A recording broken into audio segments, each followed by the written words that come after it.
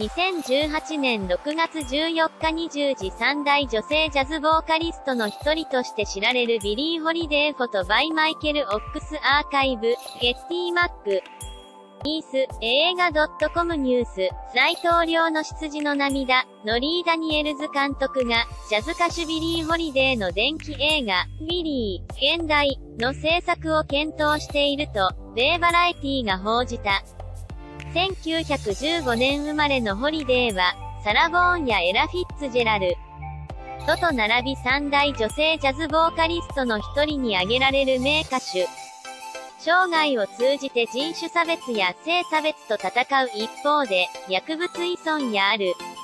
ポール依存症に悩まされ、59年に44歳で死去している。死後、多くのミュージシャンに影響を与えており、72年にはダイアナロ、ス主演映画、ビリー・ホリデー物語奇妙な果実が公開されている。マレフィセントやアリス・イン・ワンダーランドなどで知られる映画プロデューサーのジョーロスが現在、ジェフ・キルシェンバウム、トリプル X、再起動と共に映画化準備を進めており、ヨハン・ハリ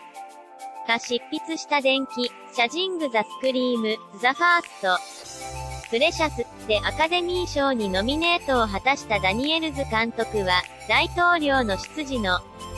涙を経て、大ヒットドラマ、エンパイア成功の代償の企画、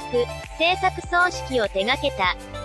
同ドラマのシーズン4の放送を終えたダニエルズ監督は現在、ビリー、原題の契約交渉を行っているという。なお、現時点では配給は決まってい